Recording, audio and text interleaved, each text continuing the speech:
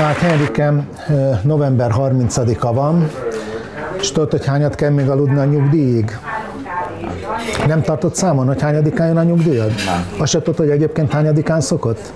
De azt tudom, mert mindig, mindig, mindig mondják, megírják 12-en. Na most képzeld el, most negyedikén jön a nyugdíjunk, tehát most már négy nap múlva, igen.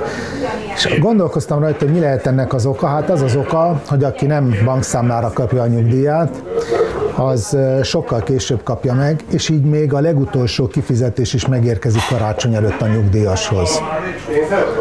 Ez a, ez a jó része, nem? Ezzel nem gondolkodtam. Na látod? De e, ugyanakkor ennek van egy rossz része is, hát ez a jó része, de van egy rossz része is az, hogy, hogy Hát, hogyha most negyedikén elkezdjük költeni a nyugdíjat, akkor a következő hónapban nagyon nagy baj lesz 12-éig. Egyébként a közmunkásokkal is mindig ez volt a baj, hogy előbb kifizetted a közmunkás béreket, akkor szegények nem éltek meg a következő időszakban. Azt tehetné a kormány, hogyha nagyvonalú lenne, hogy azt mondaná a nyugdíjasoknak, hogy jó, akkor most legyen karácsonyatok, következő hónapban is negyedikén fizetünk, meg az azt követőben is. Tehát öt napot adnak a nyugdíjasoknak, mert ez csak elhatározás kérdés, hogy a nyugdíj kifizetés 12-én legyen-e, vagy negyedikén. Ez olyan, mintha adnának egy heti nyugdíjat még ajándékba egyszer. Na de hát ezt nem teszik meg. Következő sport. Eh, ahhoz mit szólsz, hogy a hosszú Katinka már edzés indulna a Párizsi olimpián? Hát ez a hatodik olimpiája lenne, ha nem ismerem személyesen. A média szereplései alapján nem egy kifejezetten vonzó hölgy számomra, amiről nyilván, nyilván az amerikai, Amerikában töltött jó néhány év hozzá járul, ahol, ahol hype kellett, ahol, ahol, ahol, ahol, ahol, ahol mutogatott kellett magad, és az volt, volt is neki mire mutatni. De az is hozta fel őt, tehát az az igen, időszak. Háromszor, igen, összejött ezzel az amerikai uh, sráccal, aki úszóként egy közepes uh, fickó volt, de úgy látszik valamihez értett, mert A Katinkához szerintem. nem, hanem vagy a vitaminokhoz, vagy az edzésmódszerekhez. Na mindegy, ezt, ezt, ezt, ezt finoman kell kezelni. Egyébként volt egy olyan hír is, hogy véletlenül az edzője nem fogja kapni a járulékot a hosszú Edző. Hát a, a, az élettársa, vagy a férje. Igen, akit kinevezett edzőnek, és akkor így a, a válogatott kerettagok edzői kapják a pénzt. De most a, a, a Katinka az lehet, hogy nem fogja kapni a járadékát sem. A, a sós, a, a Igen. úszószövetségvezető azt mondta, aki decemberig nem, nem, nem éri el az olimpiai szintet, az kikerül nem csak az olimpiai keretből, hanem a, a, a támogatottak közül is. Egyébként az a döbbenetes ebben, hogy én, én, nekem nem volt szimpatikus az a, főleg a kommunikáció miatt ez a hosszú Katinka jelenség, meg az, ahogy a politika felhasználta, meg, a, meg ahogy ő felhasználta a politikát, meg és megnéztem a Katinka című filmet, nem tudom, hogy látta, de azt hiszem, hogy a Netflixen van fent, és véletlenül néztem meg, gondoltam, hogy belenézek, nézek belőle két percet, és magával ragadott, és le a kalappal ezelőtt a előtt, tehát hogy, hogy ez, a, ez, a, ez a sportoló mit dolgozott, ez, ez egészen hihetetlen, hogy ennyit lehet dolgozni. Én, én, én, én tudtam, hogy sokat úsznak, meg a Gyarmati Andrával sokat beszélgettem, hogy mennyit úszott, meg, de amit ez a hosszú Katinka csinált, és ez itt meg volt filmben, tehát láttad, hogy hogy megy a súlyjal fel a lépcsőn, és hogy milyen az erőléti érzés, hogy le a kalappal, tehát én azt mondtad, hogy hatodik olimpiája lenne, már én is azt mondom, hogy megérdemelni, hogy ott legyen, nem? Ha, Ez, ez nem, nem egy egyértelmű dolog. Nálunk a családban volt két, két sportoló, az egyik srác benne volt az olimpiai ezt még nem is keretben. mondtad, csak azt, hogy báró volt. Olimpiai keretben benne volt, és juniorként Veretman volt, mindegy, hogy melyik sport, Veretman volt. Beszéltem sporttársával, aki a, a legmagasabb szint, szintre emelte, hogy ez fantasztikus volt, és akkor volt az olimpia, eh, olimpiai döntő az ő számában, és mondta neki, hogy te figyelj már, nem szégyeled magad? Hát mindenki elkönyvelte, hogy te fogsz ott állni a, a, a, a, a, a, Dobogó felső fokán. Igen, egy aranyéremmel.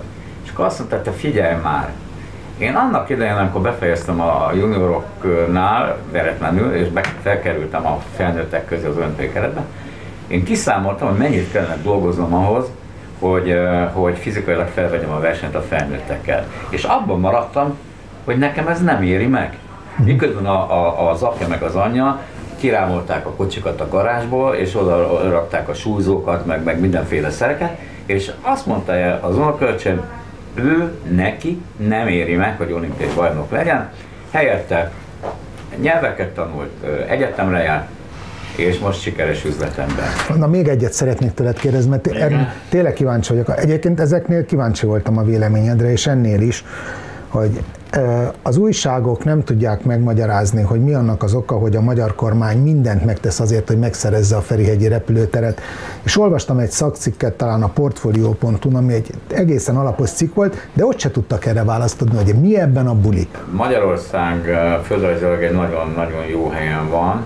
Jó, tudom, a hadak útja, meg itt, itt, minden tatár török, itt mindenki vonulgatott, hanem az van, hogy emlékszel a délszláv háborúra, hogy Ferihegyen a jugoszlávok, az egykori Jugoszláviához tartozó horvátok, szerbek ott ültek át a mikrobuzóba, mert egyszerűen nem volt légiforgalom a háború miatt. És Magyarország egy elosztó központ. Egy csomó olyan járat indul, amihez a Balkán országok, vagy éppen a közelketi országok csatlakozni tudnak. A világ nagyon repülőtere ezért van Dubajban, mert egy olyan hely, ahonnan indulnak a távol-keletre ide-oda, és egy, egy elosztó hely. Kicsiben Budapest lehet Közép-Európa Dubaj. Akkor ez, strati- ez egy stratégiai uh, repülőtér? Az, hát gondold végig, hogy, hogy, hogy az egész balkáni forgalom Magyarországon keresztül megy, csak az autópályákra gondolj. Hát az M1-esen, hogy milyen forgalom van. És, akkor... és ugyanez van, bocs, ugyanez van a teherszállító repülőgépekkel, ugyanez van az utasszállító gépekkel, ez, hogyha felfejlesztik, egy olyan francia céggel csinálnak konzorciumot, akik profik, a magyar akik állam, profik. Azt hiszem félfüllel hallottam, tizenvalány országban 60 valány repülőteret üzemeltetnek. Tehát, hogyha ezt jól csinálják, én nem tudom, hogy a mostaniak jól csinálják, vagy nem csinálják jól. Most ráfizetéses. Egészen biztos, most nem csinál, most ráfizetéses. Erről nem tudok tényleg. Én, én úgy, tehát úgy, úgy emlékszem hát, rá. Nagyon meglepne. Hát megnézem, utána nézem. Nem, nem minden, annyira nem. Egyébként én nem tudom, hogy az embereknek ez miért érdekes. Nekem nagyon érdekes, mert nem értem, a nagyon nagy pénzről van szó. Tehát egy, egy olyan... Ah, két milliárd dollár nem egy nagy szám. Hát én, én, én, én forintban tudom, 600 milliárd forint. Hát azért van vagy két milliárd dollár. Uh-huh de, de nagy pénz, hát amikor ilyen költségvetés ilyen, és mi a fenének, hát a területe miénk, a repülőt, de lehet, hogy ez, hogyha abban a pillanatban, hogy a, a magyar államnak van egy 51 a az üzemeltetésben, akkor ő mondja meg, hogy ki jöhet, ki nem jöhet, és egészen más a, egészen más a dolog. Na jó, nem, nem, nem tudom. Mondasz, mondasz valamit? Mert hogyha nem, akkor még egyet tudok kérdezni, amiről téged akartalak megkérdezni. Na, volt valahol a vonával egy, egy beszélgetés a második reformkörről, és mindnek utána a vonáról te írtál könyvet, azt mondom, hogy teljesen autentikus, és azt mondta a vona, hogy a második reformkör még nem tartott, hogy elinduljon a lejárató kampány.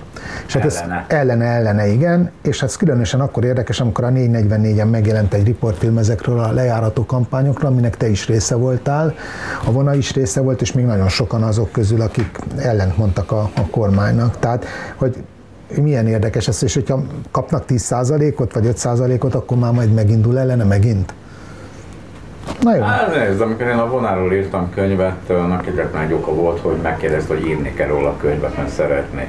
Engem a vona érdekelt, személyesen nem is ismertem, semmilyen politikai vonzalmam nem volt a vona, illetve a jobbik iránt, sőt, korábban kifejezetten idegesítettek, a vona megjelent ebben a gárda mellényben, a parlamentben. Hát az elég idegesítő volt. Én rosszul igen, voltam. Ijesztő volt. Aztán hirtelen, ahogy, ahogy, ahogy a Simicska hitán rádöbbent, hogy, hogy, hogy, hogy nem kifejezetten Orbán Viktornál lett volna a helye, a vona is rádöbbent, és akkor, akkor először megkérdezte, hogy írni kell a könyvet, akkor a szerződésem miatt meg kell kérdezni az Attilát, azt mondták nem, aztán később 2017. decemberben azt mondták, hogy igen, és akkor azt mondtam, hogy érdekel ez a pali, írok róla egy könyvet. Egy pillanatig nem hittem el, hogy miniszterelnök lehet, egy pillanatig nem vitatkoztam vele erről. Én ő elhitte, hogy lehet? Ő elhitte? Hát így utólag nem vagyok benne biztos, de akkor nekem úgy tört, hogy ő tényleg azt gondolja, hogy neki van esély arra, hogy miniszterelnök legyen. Én ebben egyáltalán nem hittem, de nem vitatkoztam vele. Az én dolgom az volt, hogy írjak róla egy jó portrékönyvet. Amennyire lehetett, én azt megírtam, hogy aztán a választások előtt pár hónappal ez megjelent, és ettől vért köpött a Fidesz. Hát igen. Azt én nagyon sajnálom. Hát meg utána aztán, te Hát igen, kaptad aztán a én büntét. vérszköptem, aztán úgy sorra nyerem a pereket, aztán... No, tehát ez már nem érdekes, hát be, te mondtad Ez, el hogy nem 25-ször, hogy be van Igen, tárazva igen, a igen, pénz. Igen, igen, Ez csak az egész azért érdekes, mert ö, örülök, hogy én nem tudtam, hogy volt egy ilyen film a karaktergyilkosságok. Van, most is van. Már régen meg kellett volna írni egy könyvet ezekről, mert tényleg, hogy Juhász Péter eh, hasba rúgta a terhes pont ezekről van. Ákos, igen. Megölte a szomszédot. Megölte, halálba kergette a szomszédját. Kiderül, amit mondta neked. Azt mondta erre a liszkolgatásra, nem a, a, a, a magyar nemzet Henry, perelj, fizetünk, van erre pénzünk. Nem számít. Képzeld el, hogy december... Bocs, ezek gátlástalan. Gátlásnak tudom. Ebben a filmben pontosan benne van, hogy mennyire gátlástalanok, és december 8-án ezt a filmet képzeld el, hogy kivetítik az MTVA székházra Kunigunda utcában. Melyiket? Azt hiszem, hogy délután ötkor ezt a filmet, ami erről a, erről a ellehetetlenítésről szól. Ez egy ilyen hatházi féle akció, és most láttam, tegnap hirdették meg, hogy, hogy kivetítik, tartanak egy szabadtéri mozitán, mondjuk december 8-án elég hideg lesz a Kunigunda utcában, de aki meg akarja Tudod, nézni, színes, széles mi az megnézheti. Megmondom, hogy neked mi a baj. Hogy az a két-két és fél millió Fidesz szavazó, aki mindennek ellenére, tehát az, hogy 60 pusztán Orbán mit épít magának, hogy ez a szerencsétlen butak Lázár hogyan lövöldözik ö, fácára, semmilyen hogyan lövi le a háziasított rénszarvas, ez nem érdekli őket. Hogy tóépült felcsútat, hogy szóval hihetetlen. És nem lepereg róluk, de miért? Na vajon? Na miért, nem tudom. Azért, mert, mert nem olyanok, mint én. Én Fóti úton születtem, Hát ez na, lenne itt két és fél Fóti- millió havas erik, még nagyobb szarban lennénk, figyelj, az, az kéne még. Fóti úton születtem. Két és fél millió havas Fidesz be. szavazó. Hát ez klassz. Jövőkép. Hát ez a... A dolog lényege az, Beleégett a dolog retinámba. lényege az, a dolog lényege az, az Isten áldja meg, hogy a Fóti úton születtem, kisrácként a Szuszával Hajrá Újpest. ö, la, rúgtam a labdát a Megyeri úton, és volt egy Vasas Újpest, tehát egy Újpest MTK kupadöntő, a Fáj utcában rendezték. Én átadtam Fáy a- utcában a Fáy MTK? utcában a Vasas pályát. Azért Fáj ezt, ezt, Vasas pálya. Tudom, de MTK-t Újpest mondta. MTK kupa döntő. Ja, értem. És akkor... Ja, értem, igen, hogy semleges terület. Jó, akkor hát, Azt jó, hiszem, hát. mint a mocskos uh, dumák mentek a, a lila táborból, és bedobtak egy libát. Én többet nem mentem Újpest szurkolók közé, mert szégyeltem magam. Miközben hozzájuk tartoztam. Miközben örök életemben Újpest drukker lettem, azt jelenti, hogy 0-24-re van gyűlölöm a Fradit. De amikor zsidóztak, és akkor bedobták a, a, a, a libát, én azt mondtam, hogy kész. Igen, jó. A- És, és a rendszerváltáskor, a rendszerváltáskor megfogadtam, hogy két helyre soha nem fogok írni. Egy a Népszabadságban, Meg is szűnt, nem bírta, nem bírta nem, fenntartani mert azért, mert, mert, mert gyűlöltem bizonyos emberek írásait, tehát olyanok, mint most, a sok szerencsétlen Gajdics, meg mit tudom én. Hú, láttam egy Gajdicsot, megnéztem, Jézus É, Mária. Szörnyű, de, Jézus Mária. de e, a, akkor én a Népszabadságban írtam egy cikket, mert ott volt előttem egy kisfiú, fej, kék fehér sállal, és félt. Félt, mert olyan üvöltés volt, és annyira gyűlölködő volt a, a közönség, és akkor, akkor gondoltam, hogy ha esetleg úgy történne, akkor én biztos megvédem ezt a gyereket. A papájával volt egyébként, és utólag kiderült, hogy nem is volt MTK drukker a kisrác, ilyen 8-10 éves kölök volt, hanem csak kapta ajándékba, valaki nyakába adta az MTK sálat, és akkor azt mondtam, hogy én ezzel a csürhével nem, nem, Oké. nem, nem, nem, nem. Két kérd- És két fideszes kérdésem. látja azt sem én. Hát látja ezt a társaságot, ez, ez a német Szilárdot, Ja, értem. Kubatot Gábor. Hát az meg, elnézést. Hát ilyen nincs. Hát ilyen nincs. Hát ilyen emberekkel nem vállalok Igen. közösséget. Jó, oké, mert nem, tehát az, az, azt kezdted el, hogy mert nem olyanok, mint te, hogy ö, elvek Én alapján politizálnak, világos, Kész. világos. De akkor mondd hogy melyik volt az a másik lap, amiben még nem akartál írni, mert bennél Beszélő. Ja, beszélő. Igen, mert a, abban az időben, amikor én a 79-ben kerültem a rádióba, akkor, akkor, akkor egyszerűen nem volt illendő szamizdatba írni, és akkor nekem nem volt bátorságom a beszélőbe cikket adni, akkor akkor később, amikor már lehet, akkor Akkor, már, ja, akkor értem, minek. értem. Na most Egyébként figyelj, oda is írtam. Jó. És akkor itt van, itt van egy másik téma, hogy Svédországban összetűzésbe került a Tesla forgalmazója az anyacéggel, és annyira szolidárisak voltak vele, az, azt hiszem, hogy az ottani posta dolgozói, ők adják ki a rendszámokat, vagy valamelyik állami hivatal dolgozói, hogy azt mondták, hogy innentől kezdve szolidaritásból, a sztrájkolókkal szolidaritásból Teslára nem adnak ki rendszámot. És hát ebből most balhé van, és most a Tesla be fogja perelni a svéd államot, és a svéd állam az kiáll a, a sztrájkjog mellett. Tehát Magyarországon már, már sztrájkjog sincs nagyon, meg, meg semmiféle szolidaritás nincs az emberekben. Nem? De ezt jól látom, hogy semmi jól nincs. látod, ez, ez, a, ez, a, ez, a, ez a magyar néplélek. Ilyen volt mindig? Mindig ilyen volt, a, mindig ilyen volt. Hát. Sajnos, eh, ha olvastál volna a Nagy Lajos novellákat, Olvastam Nagy Lajos novellákat sajnos, mert anyám kötelezett rá, Akkor ugye de sajnos nem emlékszem rájuk. tudod, hogy ez az a nép, ahol a cserédet a csendőr megpofozhatta. Jó, hát. Ha olvasta valaki Ír Gyulától a puszták népét, de lehet Olvasta. sorolni, katasztrófa. Ez egy Olvastam. katasztrofális nép, és ugye talán a múltkor ez szóba került. A kastélyokat persze, a kastélyokat igen, a visszavonuló németek, a bevonuló szovjetek kifosztották, de hát azért mm, múltkor erről már valahol szó volt, hogy hát azért a mi derék parasztjaink hordták el mindent. A zsidó mögött a kájha még ki se ült, amikor elcipelték őket a vasútállomásról, viszik őket Auschwitzba, a derék magyar paraszt már kifosztotta a zsidó Nem, mert beült és megette a húslevest, ami ott volt az asztalon, Akár pászton. Hát persze. Szóval, egyébként erről van egy e, történet, amit azt hiszem egyszer már elmondtam valahol, de most elmondom még egyszer. A, a mamám 94 évesen halt meg, egy idősek otthonában élt, mert túlsúlyos volt, imádott enni. A idősek otthonában jól főztek, a mama meg volt elégedve, a takarítással voltak problémák, de a felváltva a havasnél meg a hóban mentek takarítani, mindegy. Na, egy alkalommal a, a, a havasnél takarít, én a, az anyámmal olyan nagyon nem tudtam miről beszélgetni, pedig ő abszolút szellemileg teljesen tiszta volt, nézte a híradót, mit tudom én.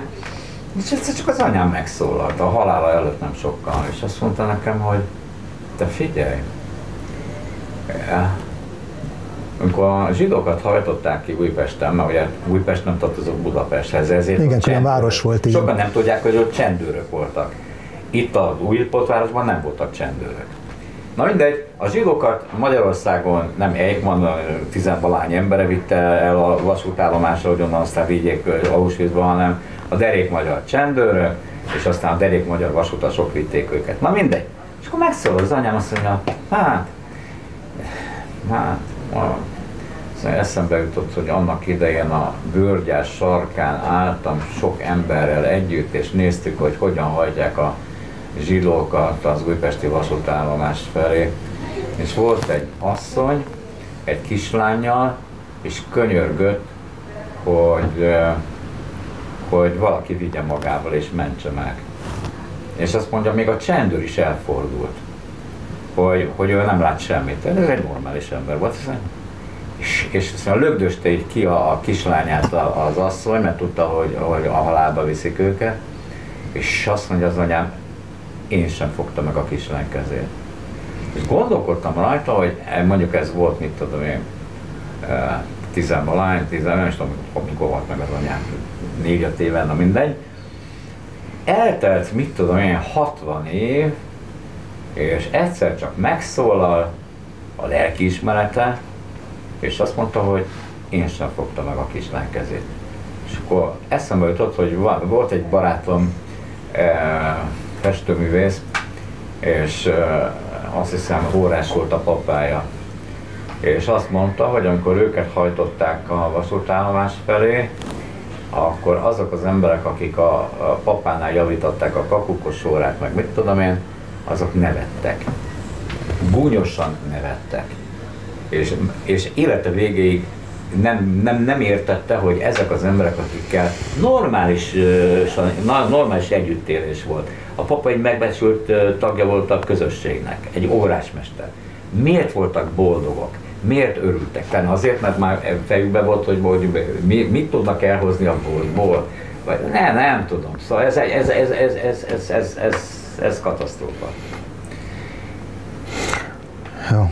Még egy kevéssé vidám dolog. A múltkori beszélgetésből kimaradt pedig nagyon jókat mondtál a Nemzeti Színházban történt balesetről, tehát hogy Szász Júlia és a Horváth Lajos Otto a díszletből leestek a földre, és megsérültek, kórházba vitték őket, most Szász Júliát megint visszavitték egy ilyen pótolagos beavatkozásra, és akkor Vigyánszki lemondott, aztán mondták, hogy ő nem mondhat le, csak felmondhat, aztán kiállt a teljes szakma és kormány és pártunk és kormányunk a Vinyánszki mellett, és hogy Attila ne csinálj ilyet, történt.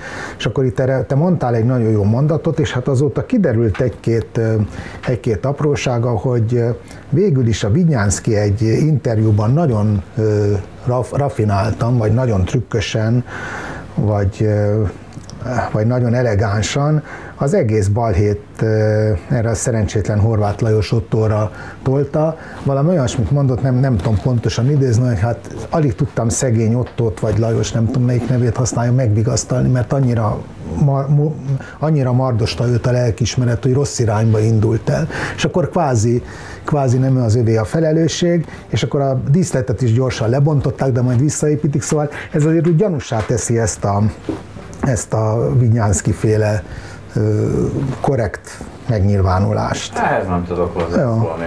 Hát, ez a lényeg, hogy ezt én elmondhattam. Nem vettek, nem vettek fel az egyetemre. Ipari tanuló voltam a MÁV-nál, gépjármű villamossági műszerész. A, a műhelycsarnok közepén fel volt festve, figyelj, Figyelek. fel volt festve uh, mészsel vagy fehér festékkel uh, két vonal, és a, a javítandó autók nem lóghattak abba be, mert ott, ott tolattak, meg ott közlekedtek az autók. És máig emlékszem, hogy egy Volgában, régi Volgában cseréltem önindítót.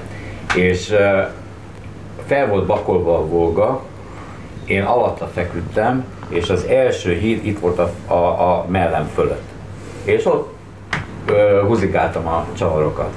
És a Volga kilógott a, a, útra. a csíkon keresztül az útra. És láttam, hogy jön egy teherautó, és pontosan a csíktől 5 centire tolat. És láttam, hogy ha jön, jön, jön, ki fogja lökni alólam a bakot, és rádesik a Volga. Bakot, és ez a hatalmas autó, ez a mellemre fog esni. És becsülszem, mondom, nem ijedtem meg. Nem. Érdeklődéssel néztem, hogy hogy fogok meghalni. És az utolsó pillanatban, hogy jött a teherautó, így szépen elkanyarodott, és betolatott velem szemben egy, egy aknára. Na most ezzel csak azt akarom mondani, hogy, hogy aki fölbakolt ezt a volgát, azt mondta, az a 25-30 centet, az nem számít. Éppen csak majdnem meghaltam. Aki tolatott, az nem látta ő, nyilván a, a bakot, mert a visszapillanatot tükörben nem feltétlenül látta, ő egyszerűen betolatott. Tehát ezzel azt akarom mondani, hogy hogy ahogy a színházban, ugyanúgy egy autószerelő műhelyben, ilyen nüanszokon múlik, Persze. meghalsz vagy nem halsz. Persze. Egyébként volt még egy, az, a, a, aznak nem a szenvedő alanya voltam, át egy teherautó, hátul egy ipari tanuló e, srác, e, autófényező, elküldték, hogy fesse újra a rendszámot. Az autó e, fél méterre állt a faltól ott googolta a ipari tanuló srác, és festette a rendszámtáblát. Erre valamelyik hülye gyerek, másik ipari tanuló, inas, beült, beindította a motort, és rüklecben volt. Oh. És neki nyomta a gyerek fejét a falra. Na most ezzel csak azt akarom mondani, hogy egy tizen... És ott, ott, maradt, ott maradt a srác? Mi, mi gépjármű villamosság műsor. És túlélte, túlélte? Nem, meghalt. Szétnyomta a fejét. Na, ezzel csak azt akarom mondani, hogy két gyerekről volt szó, mert ezek még gyerekek voltak, ezek, ezek nem érettségizettek voltak, mint mi. Ezek nyolcadik után kerültek oda gyerekek. Tehát azért, azért egy érettségizett gyerek elvárható, hogy üresben van, nem, hát. tudom én. De mindegy, ott se nagyon. A dolog lényeg az, hogy most, hogy egy, egy színész száz valányat szól, nem erre lép, hanem arra lép, ez semmit nem jelent, mert aki ezért felelős, annak mindenre gondolnia kell. Mi van akkor, ha színész lép, mi van, ha odalép, minden lehetőségre fel kell készülni. Ennyi. Hát, ja, egyébként, bocs, hát én is készültem. Megvan, de megvan, a, megvan a nagyon jó mondat egyébként. A érdeklődéssel néztem, hogy meg fogok halni. Nagyon jó mondat. Na, azt mondja, hogy Apáti Bence a Magyar Nemzetben. Igen, hát ez jutott eszembe, amikor olvastam, hogy Apáti Bencét olvasol. Hát nincs mentség. Nincs mentség. Azt mondja, ez a cím. Ez egy ilyen cím. De hát Apáti Bence balettáncos, hát ő szakértő. Nagyon. Na szóval ilyen cím, de, de nem, nem, egyébként a, szerintem egyébként se a Jeszenszki Zsolt nem maga írja a szövegét, meg, a, meg ez a szerencsétlen Apáti Bence se. Szerintem ezeket a szövegeket a nyelvfejlesztégi hibákkal, meg a baromságokkal együtt. De nem ez a lényeg, itt a hangulatról van szó, és azokat a diplomás fideszes szaladókat kérdezem meg, hogy uraim, hölgyeim, ez hogy lehet eltűrni? Ilyen cím a magyar nemzetben. Tombol a hörgő, vinnyogó a falka. Hát ilyet Shakespeare nem írt. Hát hol? És azt mondja alcím, Attila, nagyon kérlek, ne foglalkozz ezekkel a nagyképű és gonosz figurákkal, nem mondj le. A szövegből.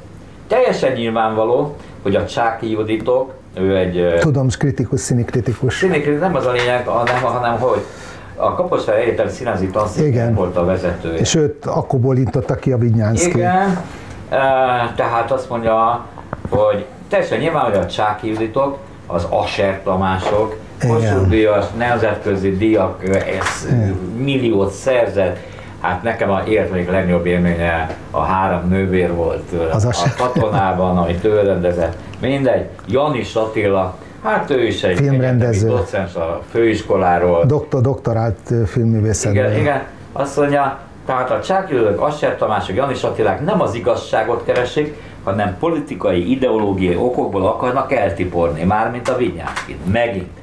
Azt hiszik, eljött az idejük, és bár az égvilágon semmit nem tudnak a baleset körülményeiről, vinnyogó hína falkaként vetik le magukat Attilára, vagy Vinyánszki Attilára, írta Apáti Bence Magyar Nemzetben. Én most nagyon komolyan kérdezem, nem, ahogy, ahogy, ahogy mondani szokták, a hétköznapi egyszerű, tudatlan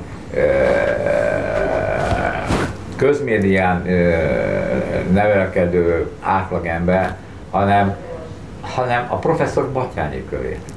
A, a, a, a, a, a Fidesz szimpatizás értelmiségeket, hogy hogy van ez? Hát elegánsan eltartják a az újukat. A vinyogó hiéna falka. Hogy lehet egy ilyen újságot kézbe venni? Oké, okay, de Herik, az alapprobléma az ott van, hogy egy üzemi balesetből, egy tragédiából, két ember tragédiájából, egy üzemi balesetből politikai ügyet csinálnak ma Magyarországon. Mert mi megvédjük, mert mi senkit nem vagyok az őző. Orbán Viktor egyszer valami, megint valami katonai hasonlatot használt, hogy, hogy, hogy a, a csatatéren el lehet esni, de onnan mindenkit kimentünk, kivéve az, árulókat. az árulókat. igen. Egyébként ez háborúban helyes, tehát háborúban ez egy helyes magatartás, csak miért kell mindig háborúban élni? Ha... Ah, egy jó, Na, mondjál egy, egy, jót. Egy, egy, egy, egy, egy szakmai dolog. Az teljesen mindegy, hogy... A, Melyik szakma? A, a, a, a mi szakmánk. Azt mondja, a Blikben egy cím. Egy 60 éves pesti asszony Londonban hozta világra a lombika hiába próbálkozott gyermeke magzatát. Magyarországon Uh, nincs ilyen, hogy béranya, még akár a nagymama is hordja Azért ki, kellett kimenni. Hordja ki a babát, ezért kellett Londonba menni. Na, hát annak idején, csodálom, hogy ezt nem tanítottam az Unokát szült magának. Eszembe jutott a következő. Az Ágnes kérdeztem, hogy nézzem már utána. Az asszisztensed az Ágnes? Nem jut eszembe annak a tévé rendezőnek a neve, aki engem még a pályám legelején megkeresett. Hallotta valami riportomat, vagy többet is uh, ifjúsági rádió 5 és ezt, ezt hogy kéne az Ágnesnek megtalálni azt a rendezőt? Megtette a magáét beütötte az összes magyar filmrendező és tévrendező nevét, mert mondtam, hogy ha látni, akkor eszedbe jut? a nevet, akkor eszembe jutna. És egy órán keresztül filmrendezőket olvastatok fel, az jó hát, az annyi Na mindegy, a lényeg az, hogy találtam, aztán most, amikor jöttem ide, beugrott. Nem Szerintem mondod. a Bérévész László volt az, aki a pályám legelején 80 valahányban felhívott telefonon, hogy hallgatta, mit tudom én, egy vagy két riportomat, és ő egy dokumentumfilmet akar csinálni velem. Nagyon jó. És kérdeztem, azt hiszem a Bérévész László volt. Szakállas, a Bérévész egy szakállas, szakállas igen, igen, igen. Nekem ez nem rém lett, a neve rém lett, de nem jutott eszembe, aztán ma, ma beugrott. Na mindegy, a lényeg az, hogy a koncepció a következő volt, és erre szerzett is, nem tudom mit, pénzt, műsoridőt, mit tudom én, hogy egy amerikai professzor, az Ágnes utána nézett, ez a Káli professzor lehetett, gondolom én, jön Magyarországra az asszisztenseivel, asszisztensekkel és a felszereléssel, és Magyarországon megcsinálja azt, amit Amerikában már évek óta csinál, ezt a bizonyos Lombik Baby programot. Ez a Káli, szerintem a Káli igen, volt. igen, szerintem is. És betanít néhány magyar orvost, akik majd, ha ő elment, akkor csinálják. Na, azt mondta a bérévész, szerintem ő volt az, ha nem, akkor elnézést. Itt a, itt a képen, nézd meg, láttam, most így láttam, néz ki. Azóta már megnéztem, igen. A következő volt a koncepció. Már nem emlékszem, hogy hogy újságban, meg rádióban meghirdették, hogy aki részt venne ebben a programban, jelentkezzen. A bérévész azt mondta, hogy száz valahány nő már jelentkezett, jönnek majd be, emlékeim szerint, emlékeim szerint a, ott az állatkert mellett melyik volt, az a kórház, réges zsidó kórház volt.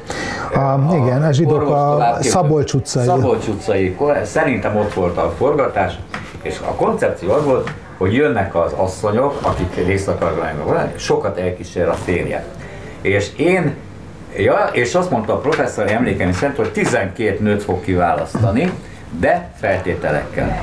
Na, jöttek a nők, és mondta a révész, hogy próba szerencse. Ha csak egyen máznink van, hogy, be, hogy, hogy meg lesz a bébi, akkor az rohadt jó. Ez már úgy kezdődik, hogy bejön a nő a férjével, elmondják, hogy mennyi próbálkozásuk volt, mennyi pénzt költöttek, hogy ez egész életük ráment, hogy babát akarnak, és akkor úgy is van vége a filmnek, hogy megszületett a baba, és felmutatja a szülészoros, hogy íme a gyermek.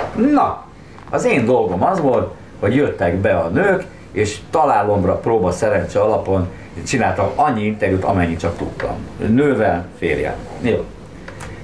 E, kiválasztotta a professzor a 12 nőt. Nem emlékszem minden kritériumra, de fontos volt az életkor, figyelsz? Figyelek. Fontos volt, mert azt hiszem a professzor csak egy hétre jött Magyarországra, hogy a menstruációjának az időpontja. Máig emlékszem egy ilyen szakmai feltételre, hogy át kellett fújatni a, a hölgyek petevezetékét. Ez is volt, át kell fújatni. Akkor hozni kellett papírt, hogy a férfi hímival sejtje, tehát a spermája működőképes. Na, elutazott, nem tudom én hány hétig kellett várni, hogy meglegyen az eredmény, hogy ki, kinél fogant meg, kinél nem. És az volt a, a rendező koncepciója, hogy én felhívom a professzort Amerikában, megbeszélt időpontban, és elmondom neki, hogy a 12-ből hánynál volt sikeres. Tehát, értem, igen. értem a szituációt. Na szerinted? Ha egynél sem. Egy sem. Kiderült, hát az, hát a professzor az nem kapott levegőt. Tra- az Nála 85-90 százalékos sikeressége. Mindenben hazudtak. Az orvosok pénzét adtak hamis papírt arra, hogy a férfi hímival sejtje működik. Meg se vizsgálták. Adtak papírt. A másik nő eltagadta, hogy mikor, mikor van a menstruációja. Csak hogy benne a legyen a programban. nem volt átfolyatva, mondom, ez az egyet jegyezte meg is szakmában. Nem volt átfolyatva a petevezetéke. És most derül, és ezért kellett volna az egyetemen én hülye barom annak idején ezzel foglalkozni, hogy a, a, a bérévész, meg én is így álltunk, hát egy csomó munkát befektettünk, hát ez szörnyű. Hát nem ad. Hát erről kellett volna filmet erről, csinálni. Igen, és nem lett belőle? De nem jutott eszembe. Nem nekem kellett, én kezdő voltam. Aha, aha. A bérévésznek azt kellett volna, hogy... Akkor ez a film. Akkor ez a, ez a, ez a sztori, persze. Ez, és ez, és ez a riportban kiderült? Tehát ez hol derült ki, hogy mik a bajok? De nem, hát az, az mikor, mikor lett nyilvánvaló a professzor számára, hogy mi okozta ezt a az már, nem, nem, ez már a rendet. Ja, ezt utólag tudtad meg. Aha, hallottam. Az egészből nem lett semmi, és mondom, hogy én barom 20 év alatt nem jutott eszem, hogy ezt elmesélem a, a, a hallgatóknak, hogy hogyan lehet megfordítani Igen, a dolgot. igen, és ez Mert a a jó, koncepció nem működött, akkor, akkor arról kell Arról hogy nem működik. csinálni. Ez egy jó. ilyen hülye ország. Igen. Ez És egyébként sokkal többet mond el ez az országban. arra, hogy miért választják meg a Fideszt. Ezek. Oké. Okay. És akkor meglegyen az örömöd, a szemmelvés színben, a koltai filmben felmutatják a csecsemőket állandóan. Még nem láttam a filmet, csak a kritikákat Jaj, olvastam. nagyon kellemetlen. kellemetlen. Volt. A, most olvastam, 17 éve azt hiszem utoljára forgatott a koltai filmet. Hát ez nekem egy nagyon kínos dolog volt. Jó.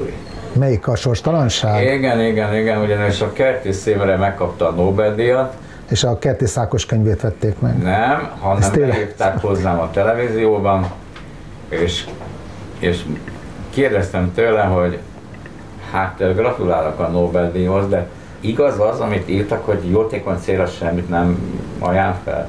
Azt mondta, igaz. Hát mondom, akkor legalább vegye magának egy pár új cipőt, mert ez mondom nagyon Ezt mondtad ilyen kedvesen? Igen. A Nobel-díjasnak? Na, hát majdnem elájult, na mindegy, Hát- elmondtam, hogy ez nagyon szar. Szerkesztők, Ez hogy a, kezdve a szerkesztők a vezérlőben, hogy fogták a fejüket. Persze, hogy hogy fogták, a, nem lehet kivágni. Persze. Persze. Mi, Hát, hogy, ó, De nem ez az érdekes. Azt képzeld el, hogy a Koltai Lajos, Azért ezt nem tanítod, ugye, hogy így kell csinálni. Lajos, a Koltai Lajos ö, ö, ö, ö, ö, volt nálam interjún, és mondja, hogy ő csinál filmet a sorstalanságból. Mondta neki, hogy hát ez egy jó ötlet, bár mondom, az igazság az, hogy szerintem a Szép Ernő emberszak című könyve az sokkal jobb. Melyik? A Melyik Szép Ernő? Szép Ernő emberszak című könyve. Nincs, nincs. Azt mondom, klasszisra jobb, mint a, a, Sorstalanság? a sorstalanság, de hát mondom, akkor De nem kapott. Nobel-díjat. Erre nézett, de nyilván is Ez szintén a holokausztról szól az ember? nem, a szép Ernő az ott lakott az irodámmal szemben a Pozsonyi úton. És erről írtak könyvet? Nem, te hülye vagy. Szép Ernőt elvitték munkaszolgálatra. És Szép Ernő miután túlélte a munkaszolgálatot, itt Pest környékén ö, lövészárkot, meg, meg tankcsapdát ásattak ezekkel a, a, a, a, ugye a fiatal munkaképes zsidó férfiakat elvitték És akkor fronton. előrétek, És őt is egy csomó beteg, idős Emberszag, emberrel mit vitték ki dolgozni, emberszag. Emberszag. Jó, elolvasom. Na, és akkor... És jó, és jó és túlélte, hála jó Istennek. Ő egyébként a Margit szigeten a nagyszállóban lakott, és rohadt népszerű volt. Sok pénzt keresett, színdarabokat írt, filmforgatókönyvet, ez zseni volt. És, a, és mivel egy, nyila, egy ilyen nyikhaj, senki egy nyilas srác pofon ütötte, el tudod képzelni, egy, egy, egy sikeres íróember, aki már 60 körül van, És ássa egy az ilyen árkot. senkiázi utolsó taknyos kölök ö, pofon vágja, úgyhogy amikor túlélte a dolgot, és már vége volt a, a, a, az ostromnak, akkor úgy mutatkozott be, hogy szép Ernő voltam.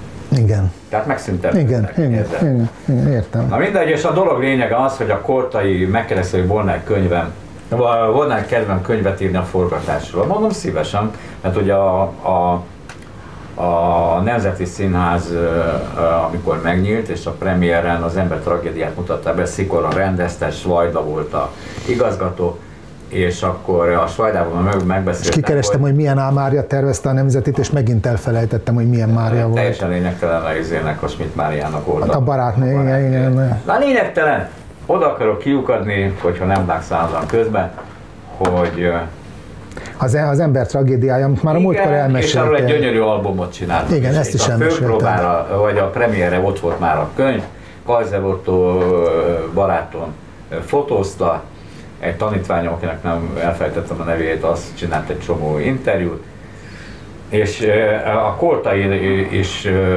imádta ezt az albumot, mert nagyon szép lett. Hát a fontosabb interjúkat én csináltam, de nem ez a lényeg, hanem hogy kéne egy ilyen album a Sorstalanságról, igen. Fölhívott telefonon, azt mondja, hát Henrik, nem tudom, hogy, hogy, hogy, hogy, hogy milyen a kapcsolatod a kertész színűvel, csak megemlítettem a nevedet. Hát ne csodáld. Hát azt mondja, hát enyhén szólva Ezt ne csodáld. kap. Hát ne csodáld, én is azt Miért? kapném. Nem tud nagyvonalú lenni. Biztos vett magának egy pár új cipőt, Nem. szevasz. Figyelj, nem, tehát az, az a baj, hogy a vaknak nem lehet megtanítani a lila szint, és én így vagyok veled.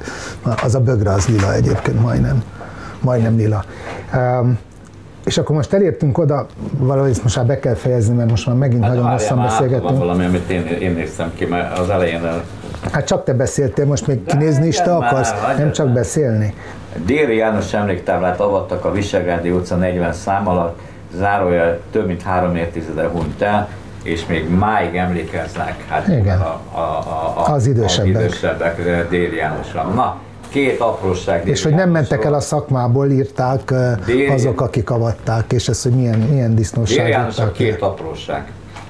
Az egyik, hogy mikor halt meg? Hát akkor halt, mikor alatt meg? 90, valahogy így. 91 talán. Igen, na mindegy. Csöng a telefonom. 41 éves volt, úgy emlékszem. Csöng a, tele... Csöng a telefonom. Igen. Azt mondja egy pasas, hogy jó napot kívánok, a Tatabányai Vállalkozói Klub. 92. Tatabányai Vállalkozói Klub vezetője vagyok, és bárt rendezünk, vállalkozói bárt, és mindenki azt szeretné, ha ő lenne a műsorvezető. Mondom, és ez mikor van? Ez jövő szombaton van. Nem mondom, most meg péntek van, és jövő szombaton. Uh-huh. És mindenki engem akar. Mondod, nézze. Déri nem ért rá. Nézze, nézze. Azért hülyének már ne nézzen. Hát ezt már hónapokkal előtte le kell költni, hogy ki fog egy bát vezetni. Legalább ki kell vasalni a smokingot meg. Ne? Mondom, na szépen mesélj el nekem, és hogyha mondom, most őszinte lesz, akkor segítek. Ki mondta le? Hát, a Déri úr. Mondom, és mit mondott a Déri úr, hogy miért nem? Hát, hogy nagyon beteg. Na mindegy, ajánlottam valakit, hát én nyilván nem vállaltam. Megyek a pagodába, ugye most éppen, van, éppen arról van szó, hogy lebontják a, a, a, a pagodát is, meg a Brody az öt hetet. Pagoda szokás szerint Déri ül, 12-en állnak körülötte, sztorizik, röhögnek minden. Olyan kurva pipa voltam. Oda mentem, így megfogtam a galériát, mondom, na gyere csak. Félrehúztam, mondom, te szemét, mocsok.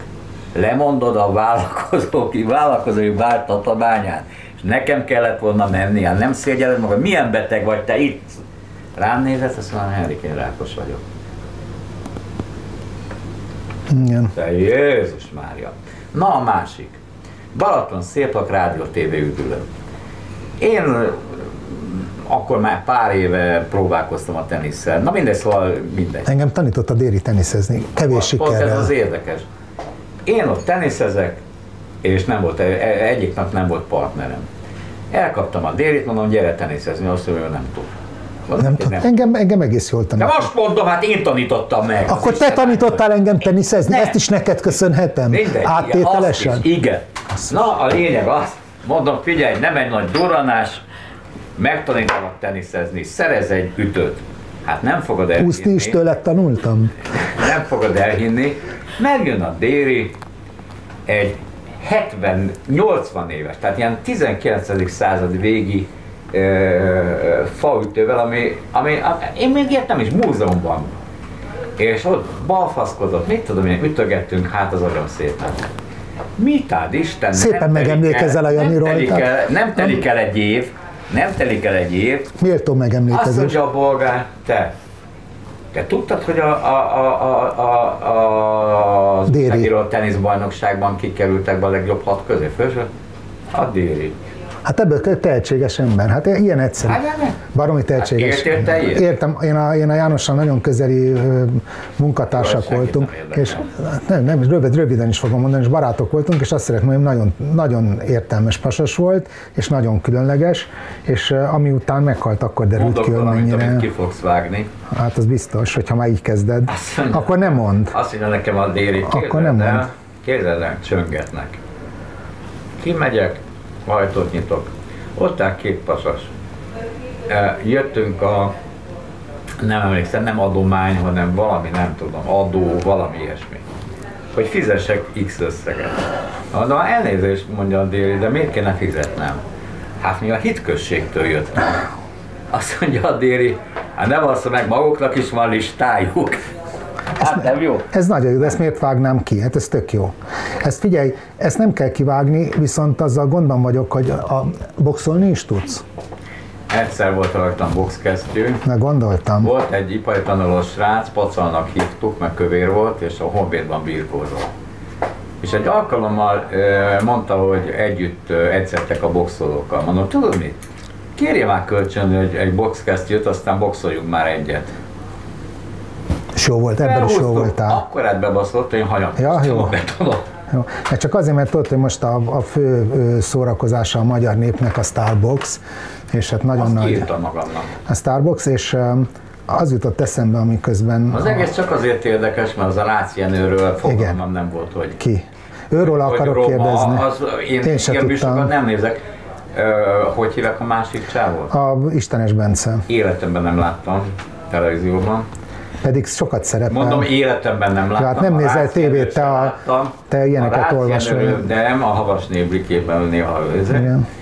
És állítólag ezek barátok voltak, és azt írja a Blik, Csúnyákat mondták Tőle. egymásról. Nem, csúnyákat mondtak egymásról, és én ö, mindig a másik hátam mögött szoktam ilyet mondani. Jó. Tehát, tehát az Istenes Bence egy nagy sztár az RTL-nél, a Rácz Jenő egy nagy sztár az RTL-nél, igen, és ö, De mitől? Attól, hogy sok műsorban szerepel, és még ráadásul, ráadásul még valami tartalom is van, tehát az Istenes Bence el tud mondani két mondatot, természetesen nem olyan színvonalasan, mint hogy te mondanád, és ö, a, a Rácz Jenő egészen jól főz, természetesen nem olyan jól, mint ahogy te tudnál főzni, ha akarnál, Ugye, ha- de hagyd, mondj- hagyd ha mondjam tovább verseny- összevesztek, de ez most nem bridge verseny, ez box, ez box, és uh, egymásnak mentek, és sokan azt gondolják, Várjál, hogy ez egy műbaj Várjál, már eszembe jutott.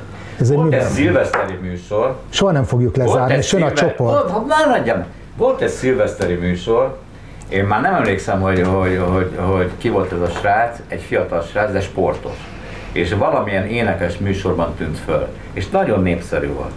És kérdezték tőlünk, hogy hogy hát volna kedvünk, mert a srác amatőr kosarda csapatban játszott. És ott a stúdióban felállítottak egy, egy, Palánkot? egy palánkot, és a srácot villogott, dobált, mit tudom én, én meg így ültem. Mondom, majd szóljanak, hogyha lehet dobálni, hogy, hogy büntetőt dobunk. És dobtál egy Hát három mindegy. pontosan. Nem az, Fotelből, a biztos. székből! Fotelből, mondom, ha mondom én. Honnan? Hát honnan? 10 hetet most otthon van egyébként kosárlabdán. azt is. Hát mindjárt a, a, az, az uszoda mellett a Szorok. összlépésre. Annyira, tudod, hogy mit érzek? Azt érzem, Nem, azt akarom csak mondani, hogy így ülve dobtam egy, Ja. egy lazáni csuklóba, Ja. erre az a gyerek azt mondta, tanár úr maga játszott? Hát mondom, egy kicsit. tanár úr. Tehát ezt akkor úgy kérdezem, hogy a rasszista megjegyzés mennyivel más, mint a homofób megjegyzés a ringben, hogy bent maradhasson. Van különbség szerinted? kezdeném, én Tehát egy rasszista megjegyzés és egy homofób megjegyzés között van különbség azzal szerinted? kezdeném, azzal kezdeném, hogy engem ilyennel nem lehetne kihozni a sodromból. Ha én egy cigány roma, teljesen mindegy, származású szakács műsorvezető lennék, olyan mértékben leszarnám, hogy mit mondanak. Én tudom, hogy ki vagyok, azt onnantól kezdve azt mond mindenki, akit akar. És azzal, hogy homoszexuális lennél, akkor ki lehetne hozni, akkor se? Azzal se lehetne kihozni a sodromból, azért nem, mert én biztos felvállalnám. Tehát Ez- én nem sunnyognék, nem volna egy rakat gyerekem, nem fényképezkednék okay. állandóan nőkkel, hogy hű, és akkor ezek a izék, hogy óriási titkot árult el Jó, ki nem mond. Kár, hogy nem láttad ezt a Starbucksot, mert arról, hogy, hogy egy műsorvezető hogy tudja lejáratni magát két perc alatt, ki a Az Istenes Bence Ja, műsorvezető, ja. igen. Mert nekünk ez másfél óra kell, de ő, ő, ő egy perc alatt lejáratta magát, vagy három menet alatt, vagy négy menet Én alatt lejáratta azon magát. rögök, azon rögök, hogy egyszer, egyszer ki kellett mennem a TV2-től, nem tudom mi, ez volt a mániájuk, hogy menjek ki a lóversenypályára, és akkor még a, a, a, volt egy veretlen ló, amit állandóan sztár A volt. kincsem, Áll- nem? Overdose. Overdose, ó, bocsánat. Ja, olyan öreg vagy, bocsánat, annyira öreg nem vagy. Ne haragudj, ne haragudj, még, az még a napoleoni Bocsánat. háborúk idején futott. Bocsánat. Na mindegy, szóval ki kellett mennem, Én már nem tudom, hogy miért. A lényeg az, hogy ott velem egy, egy TV2-es riporter csinált egy, egy interjút, és és a végén megkérdezte, hogy miért vágtam pofákat, meg miért ilyen tőmondatokban válaszoltam. Hát mondom azért, az nem, mert ilyen tehetségtelen emberrel, mint az életben. És azóta mindenféle műsorokat vezet. Gondolom én. Pedig te megmondtad. De most megint valami új nője van, Na, hát Ezért akkor kell a bá, zárjuk, akkor tudod, hogy szakította Jákob Zoltán és a nagy győztese Betty, tudtad? Ja, Ezt tudtad? Ez a Tudtad? Jákob, ez komolyan mondom olyan, mint hogyha nem tudom, mint hogyha kamaszkorában átment volna a fején valami ö, exkabátor. Aranyos gyerek egyébként. Nem, de milyen feje van? Hát szép. Nem, nem lehet egy plastikai műtéte valahogy így... Vannak olyan, vannak olyan fejek, amiket nem lehet plastikai műtéttel. Tehát például itt van az enyém. Nem lehet. Nem, aranyos gyerek, ar- aranyos gyerek. Hát, most lesz egy új sorozat az RTL-en, ahol gazdag feleségek vagy gazdag nők fogják pukkasztani a polgárt. Alig várom. De nézd meg már egyet, Alig hogy beszélhessünk róla, jó? Alig várom.